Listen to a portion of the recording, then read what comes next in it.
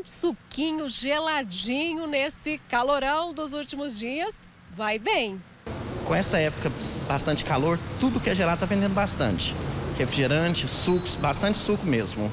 Mas os dias das coisas geladas em alta parecem estar contados, pelo menos no que se refere à bebida.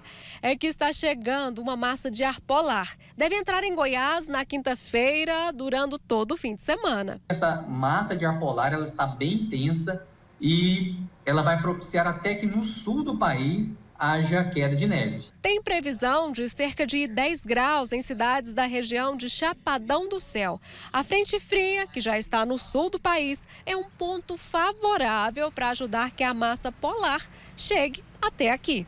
Mas no caso desse pessoal aqui, apesar de vender muito suco geladinho, refrigerante, a possibilidade de frio no mês de agosto sai melhor que a encomenda. É que nós estamos numa pamonharia e nada melhor do que pamonha com um friozinho de 10, 8 graus que é o que está previsto para Goiânia. É tudo que a gente espera é a época do frio e, do, e da chuva, né? Ainda mais agora, um frio no mês de agosto seria excelente.